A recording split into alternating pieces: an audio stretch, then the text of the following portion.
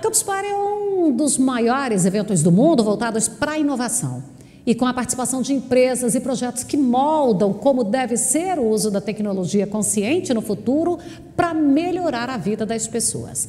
Esse ano a sua edição vai acontecer de 9 a 11 de julho e é digital. O sistema FAEG Senar também vai participar apresentando dois painéis. Eu vou conversar com o Francisco Calaça, ele é coordenador de comunidades do Campo Lab, para falar um pouquinho da Campus Party, que esse ano vai ser digital.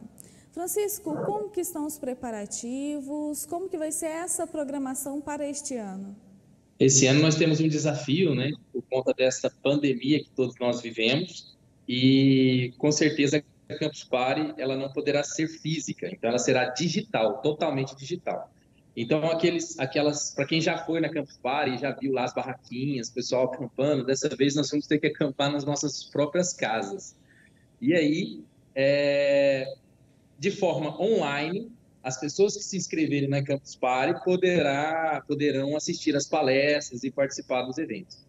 Uma, uma, um, um elemento interessante que a, o, o, sistema FAEG Senar está trazendo para a Campus Party através do Campo Lab é o desafio de dados.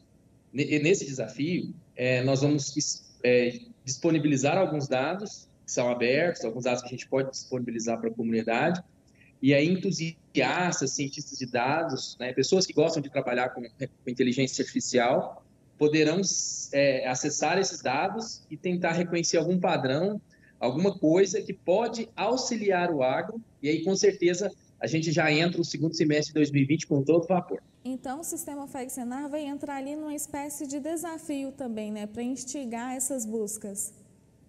Exatamente, porque através desse desafio a gente é, visa né, aproximar dessa comunidade de profissionais de cientistas de dados e inteligência artificial, para que a gente possa, juntamente com esse time, é, tentar trazer novas soluções, trazer mais inovações para o agro. E uma das funções da Campus Party é promover essas reuniões, né, para essa busca de dados, para essa busca de tecnologias que podem auxiliar.